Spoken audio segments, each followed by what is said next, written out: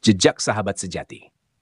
Kan, Dika, seorang anak pendiam yang gemar membaca dan tenggelam dalam dunia imajinasinya.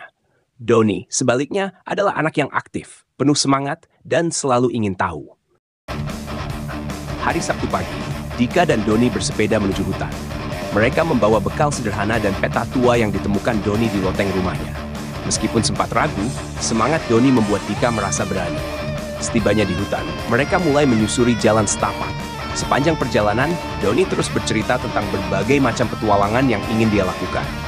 Sementara Dika mendengarkan dengan antusias.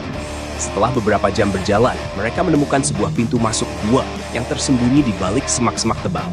Dika, ini pasti guanya. Ayo masuk, ajak Doni dengan mata berbinar. Di dalam gua, mereka menemukan berbagai ukiran kuno di dinding. Dika yang gemar membaca, segera mengenali beberapa simbol tersebut dari buku yang pernah ia baca. Ini adalah simbol-simbol dari legenda lama. Katanya, di sini pernah ada harta karun yang tersembunyi jelas Dika. Doni semakin bersemangat. Kita harus menemukan harta karun itu. Bayangkan betapa hebatnya kita nanti.